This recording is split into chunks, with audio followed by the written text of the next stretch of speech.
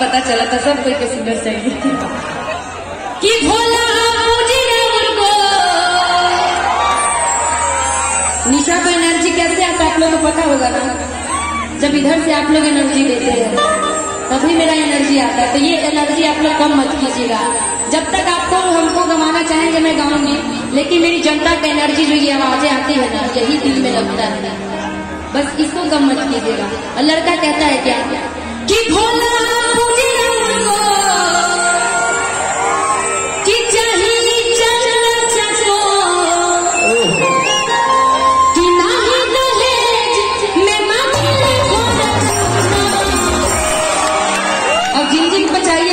मेरे एक बार हाथ उठा करके सभी लोग भोले बाबा के लिए चिल्लाते हुए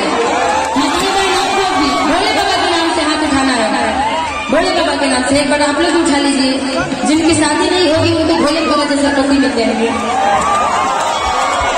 और लड़के में जिनकी शादी नहीं होगी, उनको कैसे? ऐसी पत्नी मेरी जैसी। बाप रे, देख रहे पप्पू जी। इन लोग को मेरी जैसी ले जानी चाहिए। झेल नहीं पाइएगा मुझे। पता है, एक बार की बात बताऊँ फेसबुक पे आप लोग हमेशा जुड़े हैं। मेरे निशा उपाध्याय के नाम से पेज है जो इतना बहुत सारे लोग आए हैं जो बोलते हुए जुड़ा हूँ।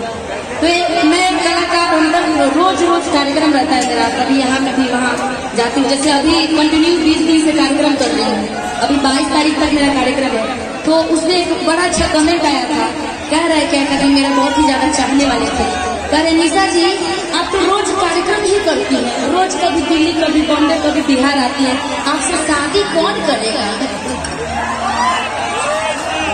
और जब इस चीज़ों को मैंने कमेंट में देखा ना तो कमेंट में पहले मुझे बहुत तेज हँसी भी आया। बाद में सोची थी मैं, कि भाई कितना ज़्यादा मेरा सोचने वाला, चाहने वाला है। देख रहा है, कह रहा है कि आपका शेड्यूल इतना बिज़ी रहा है शादी कौन करेगा? तो भैया अरे भैया, शांत शांत हो जाइए आप लोग कुछ लोग होते हैं। हेलो हेलो हेलो और सभी दर्शकों से आग्रह है माँ के दरबार में आप लोग शांतिपूर्ण बैठ जाए।